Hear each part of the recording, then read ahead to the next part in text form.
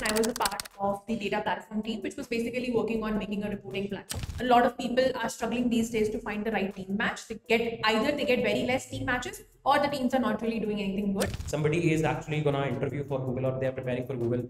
What did you feel that these were the set of topics that were like majorly present and you have to have to focus on it? It can be an advantage, it can be a disadvantage that you just have to prepare for DSA. Yeah. Like for example, if you interview for Uber, they ask you LLD as well, HLD as well, DSA as well, coding test, online coding, everything is there. If you're appearing for a L4 role, right, they would really like to see if in the past company did you uh, see or did you show any ownership skills, any leadership skills. I know so many people who did so well in the uh, interview rounds, the technical interview rounds, but didn't perform well in the Googliness rounds and then ended up getting rejected. So guys, before moving forward, there is a very important information that I would like to give you. So recently we wrapped our Elite 1.0 front-end development course and now we have launched our Elite 2.0 advanced front-end development course. This is a bigger and a better front-end development course that you need. This course doesn't need any particular prerequisite and we are going to take you from the very beginner level to the advanced level of front-end engineering. We have actually included projects like your own Replit clone, Wix, Wix website maker clone, right? Uber clone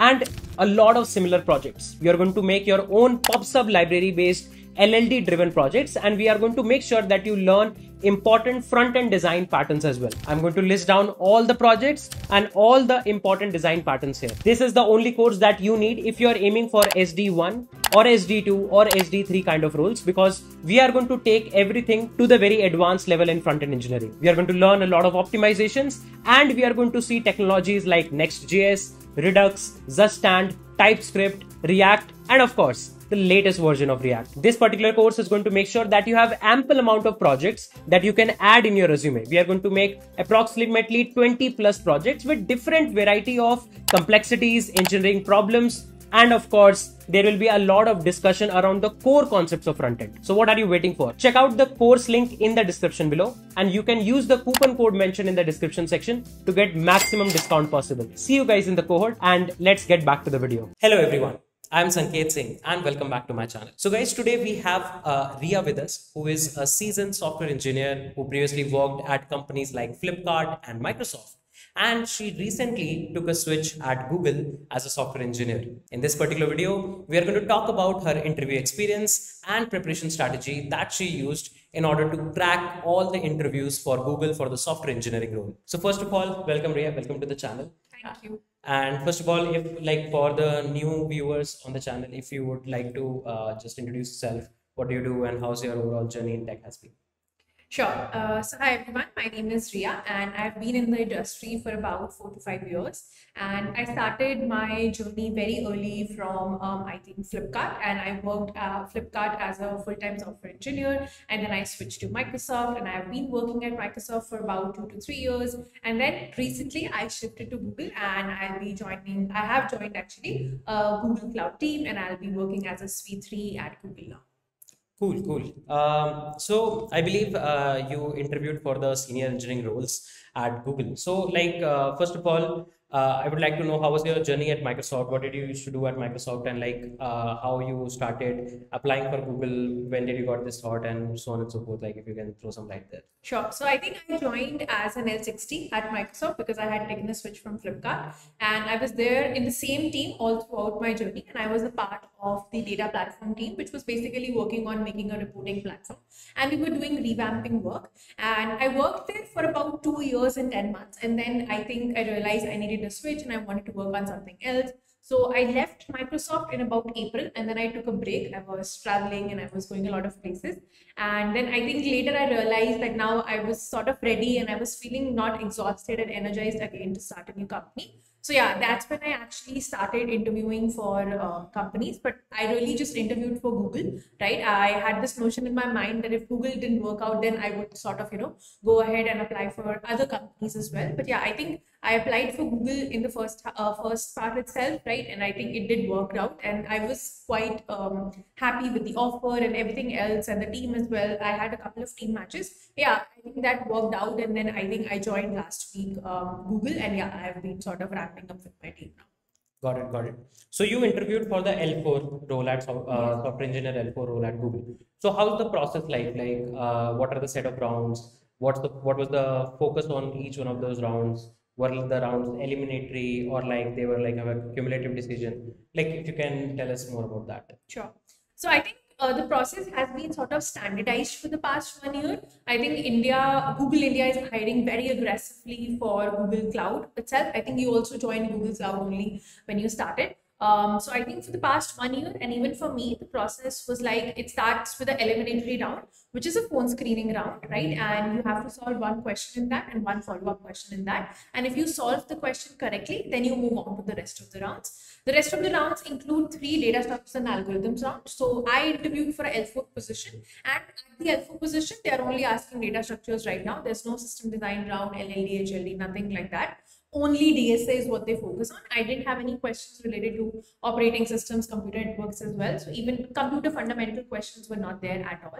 And I had three coding rounds, and all the coding rounds were, I would say, a sort of near to a LeetCode hard. One of the rounds sort of have a LeetCode medium as well, right? And once you clear all the three rounds, then you move on to the uh, googliness round, which is again, it looks like a behavioral round, but I felt like it is very important at Google to sort of you know pass uh, the rounds with a really good um, score as well. So yeah i think that googliness uh, googliness round happened which goes about for one hour basic pretty standard questions that they ask. And then i think if you everything comes if everything does go through well which it did for me right the recruiter simply says that you know your rounds are clear and we sort of have a positive call and then they go ahead with the team matches now i think that's where the pickle actually starts and a lot of people are struggling these days to find the right team match they get either they get very less team matches or the teams are not really doing anything good um, luckily for me, I had a lot of team matches. I actually talked to a couple of uh, managers, and then I think there were about four to five team matches I had. And then I think in the end, I ended up shortlisting and going ahead with the manager for the Google Cloud team who was working on persistent test. So yeah, I think that sort of was the process for me. After I think now the uh, new thing that is happening is now the team match actually happens earlier, and then I would say the hiring committee sits after that, which sort of takes the cumulated, I would say, um, result from your rounds, from your team matches, your manager responses and everything, and then takes the decision whether they want to pass your packet is what they call, the whether they want to pass your packet or finally for a hire or a no hire. So yeah, I think in my case it was a hire. I think the manager also wrote like a very strong statement of focus for me, which was sort of inclining towards that they would want me in my team. And yeah, I think the entire process took about, I think, two weeks. I think two weeks would be the max it took. My process was a little escalated, but I feel like it usually takes about a month to complete all the four, five rounds. And then I think the offer gets rolled out the next week. And since I was not working at Microsoft, I did not really have a notice period to serve. So I think that also inclined the manager a little bit. Yeah. And I think after two weeks only, I joined Google. So yeah, my entire process sort of lasted like a month. Got it, got it. Yeah, like a lot of things have actually changed. Like during my time at Google, hiring committee used to happen first, and then team match used to happen. Right. Uh, there used to be four DSA rounds uh, earlier uh, after the eliminatory, and uh, now they are also focusing more on the googliness round right. altogether. So that's a bit much. Yeah, I, I totally understand the point. Now, considering the fact that like Google has been like notoriously famous for the fact that they ask relatively harder questions or at least above medium questions altogether when compared to the remaining set of companies. So what were like i understand that you cannot like tell us the exact set of questions but what were the set of topics that were more focused on? And let's say somebody is actually to interview for google or they are preparing for google what did you feel that these were the set of topics that were like majorly present and you have to have to focus on it? So what was in the case of your set of rounds Okay, so I think I actually read a couple of interview experiences. Now that could be on Blind or that could be on. It could, it could be some medium articles also. And I wanted to sort of focus my preparation like that. You could call it an advantage or a disadvantage, but like Google only asks DSA rounds at L4. So compared to other companies which would also ask you, you know, HLD, LLD, right, machine coding rounds, right? You have to prepare sort of in a very vast way for those companies. But I think for Google, they only ask DSA, but that the level is slightly higher. But what I could see from a couple of interview experiences earlier was that they were mostly focusing on graphs, dynamic programming, is what I could see was standing out in most of the interview processes. So I think I also focused a lot on that during my preparations. And I think that in the interview process also, I could see pretty much the same thing. I think, uh, like again, like you said, I cannot disclose all the questions, but I think two of my rounds focused very heavily on dynamic programming only. A little bit, uh, one of the rounds was in graph as well, right? And my phone screening round focused, uh, it started with a hash map question but then it evolved into a greedy uh, as well. So yeah, I think greedy and hash map is also I saw a couple of people mentioning about that that it's also being asked. But yeah, I feel like in the interview experiences also that I read, and even for me, I think graph and dynamic programming was something that really stood out, and I could see that visibly most of the interviewers were asking questions related to that. Got it, got it. Yeah, in fact, like similar fact with mine as well. Like my two rounds had like heavy graph questions and two of my rounds were having like heavy D, uh, DP questions apart from the eliminatory one. So I guess like if you are preparing for Google, I believe uh, DP and graph should be something that you definitely should spend some time on, as uh, Riya also mentioned. And I like I have also read this on LeetCode that most of the people are getting questions around graphs, are getting questions around DP altogether. So like now, like I totally resonate with your fact as well that it can be an advantage, it can be a disadvantage that you just have to prepare for DSA. Yeah. Like for example, if you interview for Uber, they ask you LLD as well, HLD as well, DSA as well, coding test, online coding, everything is there. But in Google, you have like just the DSA round, you focus on DSA, you get through. So, uh, like, how did you prepare for it? Like you mentioned that you were thinking that okay, you will interview for Google, and if it didn't work out, then maybe you will try to explore other opportunities. And you cracked it in the one shot but like how did you prepare for it? Were you like uh, specifically focused on like very hard questions? Did you have some magic number in your mind that okay i have to like solve let's say xyz number of questions that a lot of people nowadays do that they have solved 400 questions 500 questions? So were you having that kind of magic number in mind? How did you use to approach the questions? How did you filter out the relevant question? What was the strategy altogether I think um, okay. So because it was Google and I, I, I knew that they are going to ask DSA, I did not do anything apart from LeetCode, Right? I knew there was no point of even though it is relevant for a senior SWE, no system design, HLD, but I knew that was not really a part of the interview process at all. So I was not really doing any of that. I think on LeetCode, uh, what you have to realize while interviewing for Google specifically is that most questions would be LeetCode hard just the wrapper that the Google puts on top of it just modifies the story a little bit behind the question. But eventually, most of the questions that they ask would turn down and tone down into a LeetCode hard question, which you would have already seen as well. There's a very high probability for that. But they just twist the question a little bit, story a little bit, so that you know it's not too easy for you, and you have to sort of you know demystify the question a little bit, dig around a little, and then really know what the concept that they're asking is. So yeah, I was only focusing on LeetCode. I was solving a bunch of questions on LeetCode related to mostly graphs and dynamic programming first. Then I moved a little bit on trees as well, greedy algorithms, right? And then hash maps, and then a little bit of stack and queues as well. But yeah, I was not really going a lot deeper into that. I solved a lot of questions. Again, I first focused on the questions that have been previously asked right? And then once i knew that i had solved a couple of questions around that then i started going and you know solving some random questions. I had no number in mind. Like you asked i was just trying to be as comprehensive. And first i was trying to mostly revisit the topics that i've already done but yeah i think that turned out uh, good for me. I could solve a lot of questions. I could sort of resonate patterns as well. Later when i knew a question i'm doing and then you know i could already see the pattern behind that question i was not really coding that question because i could recognize that you know this is something related to like for example if i'm doing articulation points after a point i could resonate reading the question itself that you know it's going to come as an articulation point question itself. So i was not really going too deep into it. My idea was to cover and read a vast number of questions so that once I get a question in the interview, I am not blindsided. I feel like, you know, ye to pada hua hai types. I would have already read it before. So yeah, I think that was what worked for me. Um, I mostly focused on LeetCode, read a couple of interview experiences, gave a little bit of, you know, some uh, rounds as well where you have to focusedly work on and in a fixed time you have to solve questions because I think with Google in 45 minutes you have to solve one complete question and then you have to do follow-up question as well. Right? If you are not able to do the first question, that is pretty much a no hire from the interviewer. If you're able to do the first question and then sort of tell the answer for the other question but not really code it, that's also a lean hire. But yeah, I think doing the first question itself, coding it fully, it should not be a running code, but it should be a good working code, right? Doing that was very, very important. So I feel like with Google, they're very picky about the fact that you know they, they will not leave any corner unturned. In 45 minutes you have to do both the questions. You have to write the code for both the questions. You have to tell the time and space complexity as well.